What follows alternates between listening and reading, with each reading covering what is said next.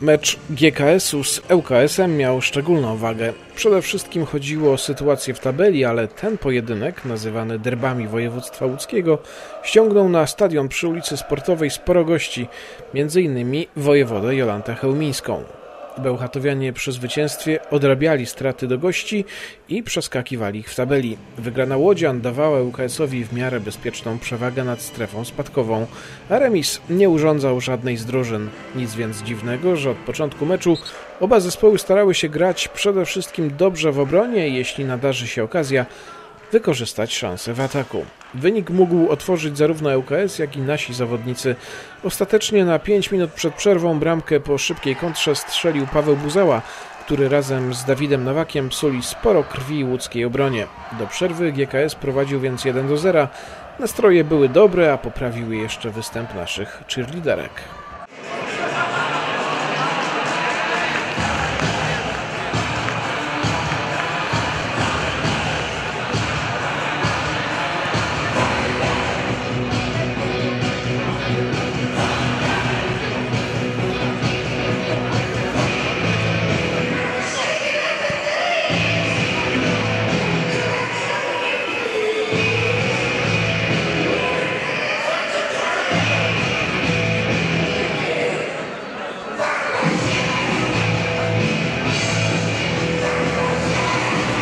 Dziewczyny rozgrzewały zmarzniętą publiczność, a dziennikarze analizowali pierwszą połowę i zastanawiali się, jak będzie wyglądać gra po przerwie. Wynik chyba przede wszystkim jest e, najlepszą, tym, najlepszą wiadomością, którą można e, po tej pierwszej połowie, co można najlepszego powiedzieć, bo, bo gra GKS-u tak troszeczkę nie, nie wygląda tak, jak, jak Bełchatowianie przyzwyczaili w ostatnich meczach zwłaszcza. E, Sporo niedokładności, sporo takiego chaosu. No, wygląda na to, jakby troszeczkę ociążali e, piłkarze e, z Bełchatowa. Natomiast no, też tutaj nie, nie gra niczego, niczego rewelacyjnego, nie jest to jakieś porywające spotkanie.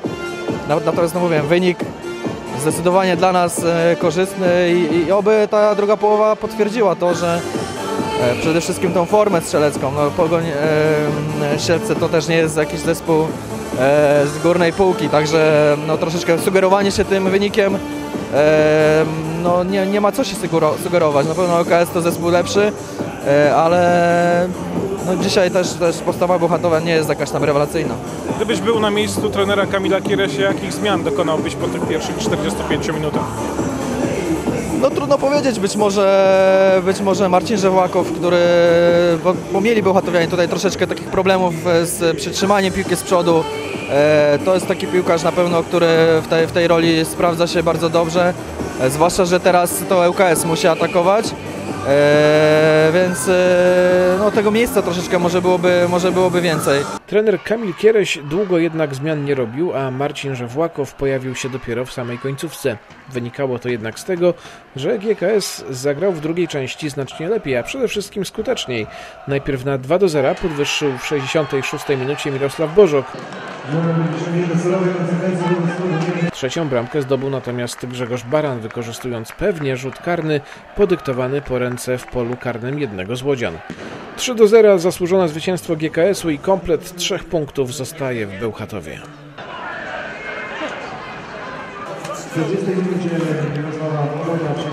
Był to bardzo, bardzo trudny mecz e, o 6 punktów i ja bardzo się cieszę, że dzisiaj wygraliśmy. Tak wcześniej wygraliśmy z Zagłębiem i dzisiaj z LKS-em. Są to bardzo ważne mecze dla nas i ja się bardzo cieszę, że drużyna punktuje. ŁKS był tuż przed nami w tabeli, widać to było w pierwszej połowie, bo chyba trochę bojaźliwie wyszliście na tę pierwszą część spotkania, w drugiej już wyglądało to trochę lepiej. Ja uważam, że nie bojaźliwo, tylko LKS czekał na swoje polowie i właśnie czekał na kontry jakieś. Nam, nam bardzo trudno się grało w takim, w takim ich systemie i e, bardzo ważne było, że strzeliliśmy pierwszą bramkę w pierwszej połowie, uważam. Po strzeleniu gola pokazałeś taki gest, co on oznaczał? E, To pokazałem mojej dziewczynie, ona wie co to znaczy.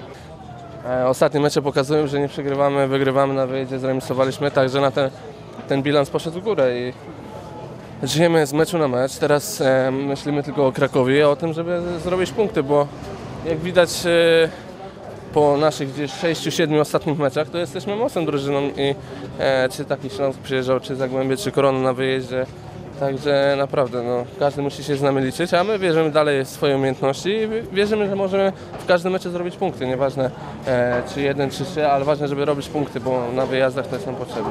Gramy razem utrzymanie, tak żeby był to mecz y, walki, walki i, i kto zwycięży tutaj, myślę, że w środku pola udało nam się to przezwyciężyć. Strzeliśmy pierwszą bramką, ustaliliśmy sobie jakoś ten mecz, później w idealnym momencie Mirek Bożek uderzył na 2-0, także myślę, że w sumie zasłużenie wygraliśmy to spotkanie i cieszymy się z tego, że dopisujemy kolejne trzy punkty i postaramy się w następnych meczach zdobyć jak najwięcej tych punktów, żeby zimie się przygotować jak najlepiej do rundy rewanżowej.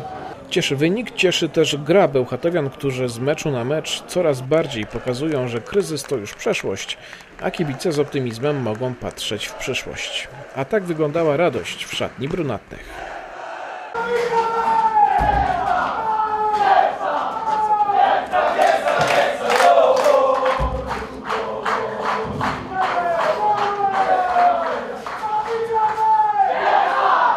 Zupełnie inne nastroje były w łódzkim zespole. wysoka przegrana.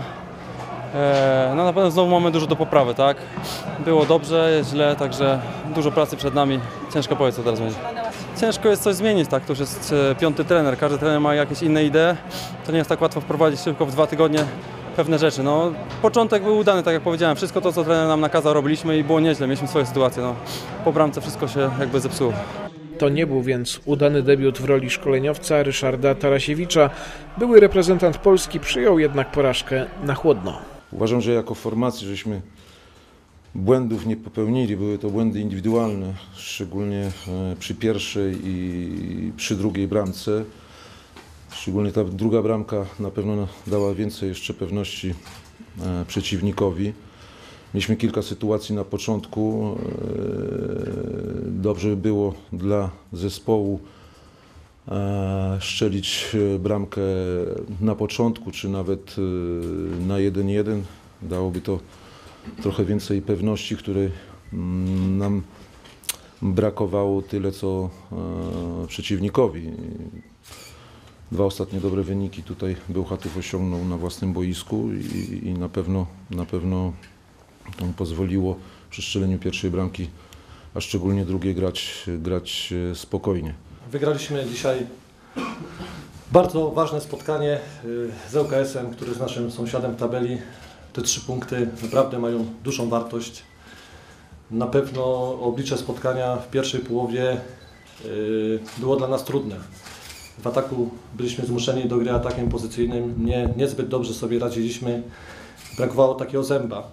Na pewno w tej pierwszej połowie o tym, że prowadziliśmy 1-0 zadecydował szczegół akurat y, kontra po stałym fragmencie y, gry po rzucie rożnym ŁKS-u dobrze wykorzystaliśmy kontrę i prowadziliśmy 1-0. To, to pozwoliło nam ten mecz otworzyć. Y, Myślę, że w drugiej połowie zaprezentowaliśmy się już jako zespół dojrzały piłkarsko.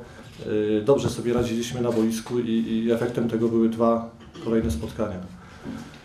Jestem bardzo zadowolony, że wygraliśmy 3-0 i w tej chwili już bardziej skupiam się na tym, co będzie jutro, w poniedziałek, we wtorek, tak aby się przygotować do kolejnego spotkania, bo sytuacja w tabeli nadal jest trudna, trudna. Mamy tylko punkt przewagi nad ŁKS-em, który też ma kolejne spotkania, inne zespoły, tak Zagłębie też wczoraj wygrały.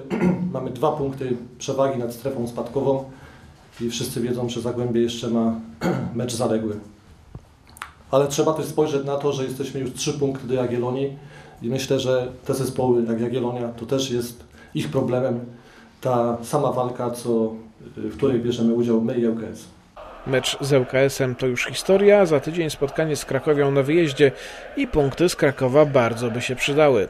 A na własnym boisku w tym roku Bełchatowianie wystąpią jeszcze tylko raz, 3 grudnia z ruchem Chorzów.